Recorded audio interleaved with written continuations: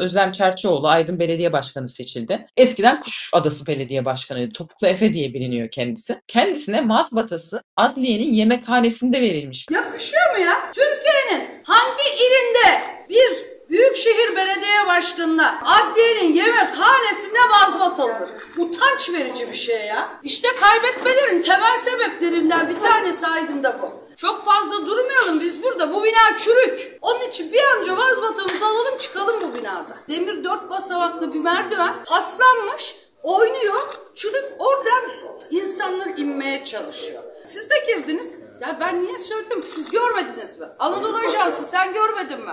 Ferdi gördün değil mi? Yazın kardeşim ne yazmıyorsun? Herhalde daha önce hiç almadı böyle. Çünkü diyorum ya üçüncü kere alıyor mazbatasını aslında. Özlem Çerçioğlu böyle tepki göstermiş hakikaten de Efe gibi yani. Topuklu Efe dendiği kadar var kendisi.